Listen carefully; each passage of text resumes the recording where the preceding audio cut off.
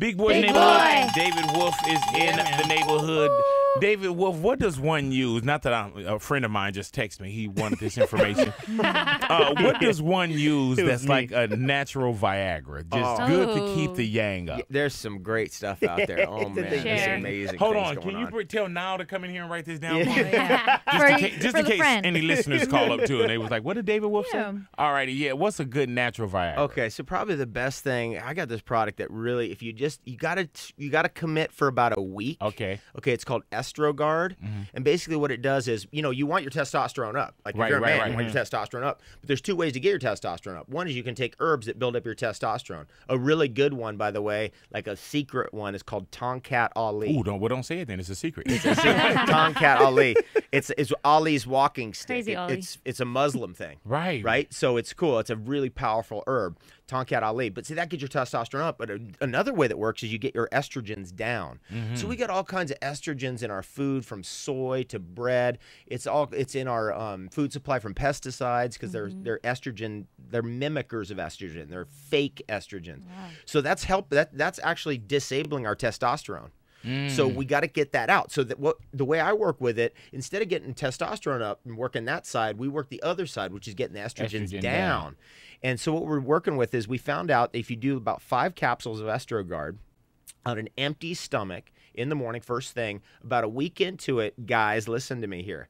You're gonna be you're gonna be like you're 16 again. Really though. And, and and guys, you know what I mean by that. Like you keep Oh, going. acne and uh, oh oh oh, No, yeah, like, oh okay okay like that side. Like Hello. like like you're 40 but you're 16 kind of thing.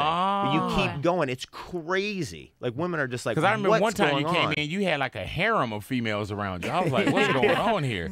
Well, what is, I mean, assistants. I mean, you know what I'm saying? Assist- assistant. Yeah. what What are you guys thinking? Go ahead, baby. Clients. She been and, and Rikki's been waiting on you to yeah, get here. I Yeah, I man. checked out your book, the book that you wrote about the raw food diet, Okay. and I just wanted to know if someone that the dedication that you need to put forward in this, because uh, you always want to do it, but then you try it for a little bit and then you kind of fall back. Is there any motivation you have to give people to just keep on going with it?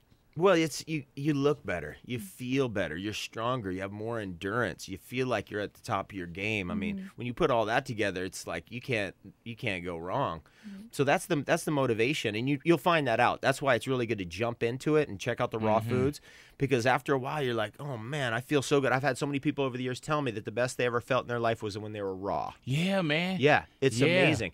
And and it's you know, we live in a world that's you know, it doesn't support it as much, but it's getting better. Like there's amazing restaurants in LA that serve raw food. I mean, this is the hub of raw food in the world, LA. Unbelievable. so, you know, it starts out with maybe, you know, you go and you check out what's in an organic food store, you buy a little bit of organic food, you play around with it, you play around with juices, blend your food more, check out some of the raw food restaurants. But then where it leads you to is growing your own food. Mm, do you grow yours? I grow my own food. Man, Yeah. what did you have for dinner last night, David Wolfe?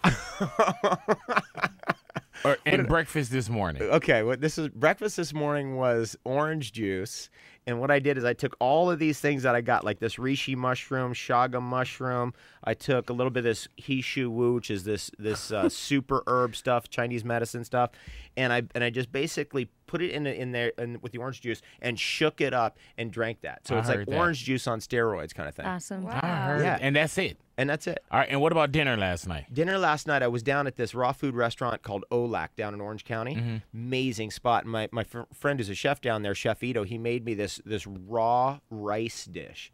So he takes rice and he soaks it in acidophilus. It makes it soft, like it's been cooked, but it's raw. And then it's got broccoli in it and avocado and cilantro. Oh, my god, That was gosh. a good dinner. That was a great dinner. Man, Raw rice. He That's makes good. it sound good. Can you eat one of those for me? yeah, you know, we got David Wolfe in the neighborhood, Big Boys Big neighborhood. boy.